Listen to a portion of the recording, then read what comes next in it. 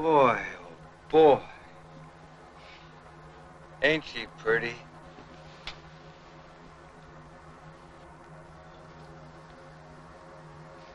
Can you see Texas?